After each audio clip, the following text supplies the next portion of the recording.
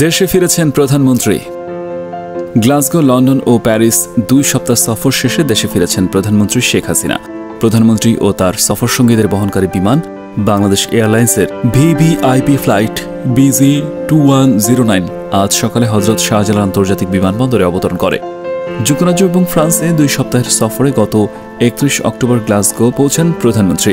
গ্লাসগোতে তিনি COP twenty six শীর্ষ সম্মেলনে এবং অন্যান্য অনুষ্ঠানের বিশ্বনেত্রী বৃন্দের সঙ্গে যোগ দেন।